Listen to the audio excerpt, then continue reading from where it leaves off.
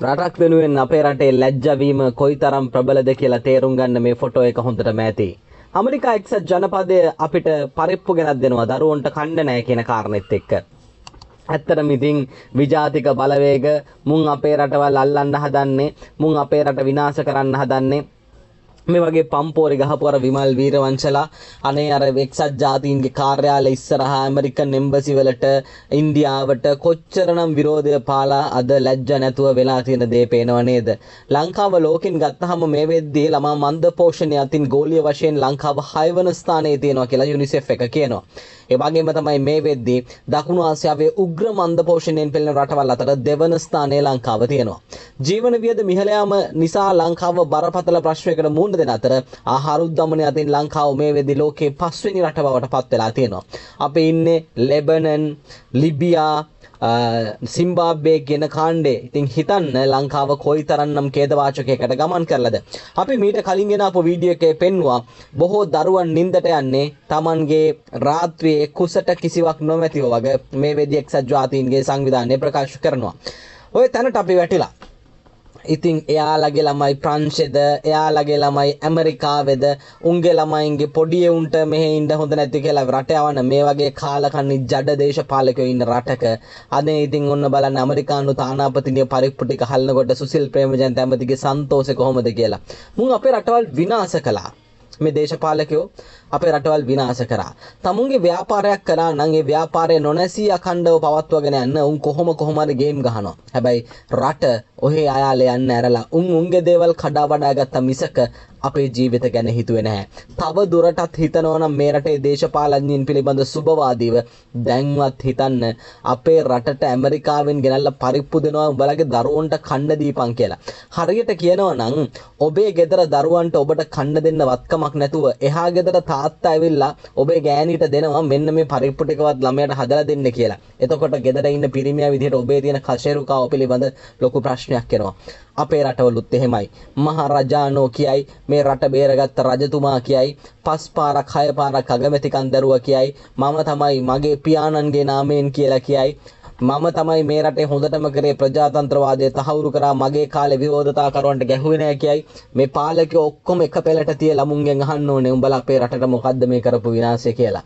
මේ රටේ තවමත් දේශපාලනය වෙනුවෙන් කඩේ යන තාමත් උන්ට සර්වර් ගාගෙන දෙකට නැමිලා උන්ගේ වාහන ලයිට් ගහගෙන පාරවල් දිගේ එනකොට පාරවල් වල අයින් වෙලාට සුනීතල වගේ පාරේ කානුවටත් බහින තරමට දේශපාලකයෝ හොඳ සැපට ඉන්න ඕනේ එයාලව රකින්න ඕනේ වගේ ගොබ්බ තැන්වල ඉන්න කාලකන්නින්ට අපි කියන්නේ ලංකාවේ. මෙන්න උඹලගේ අපේ දරුවන්ට උන් කරලා තියෙන දේ. මේ රට මේ තරම් විනාශ කරේ දේශපාලකයෝ. ඒ වගේම තමයි නිලධාරීන්. අනිත් පසින් මේ නිලධාරීන් තමන්ගේ මාසේ පඩි අතට එනවන කොන්නොහේ කොහොම හරි ඉමු කියන තැන ඉඳගෙන වැඩ කරපු එකේ ඛේදවාචකය. අපි ඇත්තටම මේ රටේ ගාමන් ටිකට මේ රටේ කර්මාන්ත ශාලා කරගෙන යන මිනිසුන්ට සූතිවන්ත වෙනවා. ගෙවල් වල බඩගින්න නිවන්න කරන දායකත්වය වෙනුවෙන්. ඒ වගේම තමයි විදේශ වෙනුවෙන් උපයන්න තියෙන දායකත්වය වෙනුවෙන්. රට ගියපු අම්මලාට අපි උදව් ස්තුතිවන්ත වෙනවා. ඔවුන් මේ එවන ඩොලර් ටිකෙන් තමයි අපි යම්තම් හරි මේක දිවිගැට ගහගන්නේ. මේ රටේ රාජ්‍ය සේවයේ ඉඳගෙන පුටු රත් කරපු කාලකන්නින්ටත් අපි කියන්නේ උඹලා උඹලගේ පඩිය ගන්න ලොකු ලොකු දේවල් කරන්නේ නැති. හැබැයි මතක තියාගන්න. ඒ පඩිය අරගෙන රටට කරපු සේවය කොයිතරම්ද කියන දේ පිළිබඳ දහස් වතාවක් හිතලා බලන්න. මේ තමයි ලංකාවේ ඛේදවාචකය. දේශපාලකයෝ නිලධාරිය එකතු කරලා විනාශ කරපු රට මේක. සමහර සමහර ජාවාරම්කාර ව්‍යාපාරිකයෝ ඉන්නවා. උන් කරේ කොමෝඩ් එකනුත් හම්බ කරන එක. උදේට ඇවිල්ලා ටීවී වල බණ කියලා ළමයින්ගේ මොටිවේෂන් හදන්න ලොකු කයිවාරු ගහලා හවසට ටයිල් එකේ බාත්රූම් එකේ කොමෝඩ් එකේ ඉඳලා අන්තිමේදී මල පහ කරගන්න යන්න බැරි වෙන විදිහට බාත්රූම් එකක් හදාගන්න බැරි වෙනකොට කෝටි ප්‍රකෝටි ගණන් හම්බ කරපු කාලකන්ණි ව්‍යාපාරිකයෝ මේ රටේ ඉන්නවා. උන් අපිව හූරගෙන කාවා. ඒක අපි බොහොම හොඳට දන්නවා. ඒ නිසා රටක වැටෙන්න පුළුවන් හැම පැත්තකින්ම අපි වැටිලා ඉවරයි. වදින්න පුළුවන් හැම පැත්තකින්ම වැදිලා ඉවරයි. ಜಾති කාලයේ විජාතික චින්තන මේවා තමයි අපේ රට විනාශ කරන ඒවා පෞද්ගලීකරණය. ඇයි කනිජ තෙල් එක විකුණන්න දෙන්නේ? ඇයි විදුලි බලය විකුණන්න දෙන්නේ කියලා තවදුරටත් කතා කරනවා නම් මහත්තයෝ පොඩ්ඩක් පපුවට තට්ටු කරලා අහන්න. විදුලි බලයට හරියට පඩි කියලා තිබ්බනම් මේ වෙදි khනිජ තෙල් එකට හරියට පඩි දීලා තිබ්බනම් මෙහෙම බල ශක්තිය අරබුද රට තුල ඇති වෙන්න ඕනේද? Plan B එකට යන්න ඕනට වැඩපිළිවෙලක් තියෙන්න තිබුණා. ත්‍රිකුණාමලේ තෙල් ටැංකිය තිබුණා. තෙල් අඩු කාල ලංකාවේ තිබුණා. ලෝකේ තෙල් අඩු මිල තැනක් තිබුණා. ඒවා වෙද්දී ස්ටොක් කරගන්න තිබුණේ නැද්ද? පිරිපහදුව වහලා දානකොට මේ පිරිපහදුවෙන් කරපු ඛේදවාචකයට දේශපාලඥයෝ වගකිව යුතු නැද්ද? ඒ විතරක් නෙමෙයි මතක තියාගත යුතු අනිත් කාරණේ තමයි.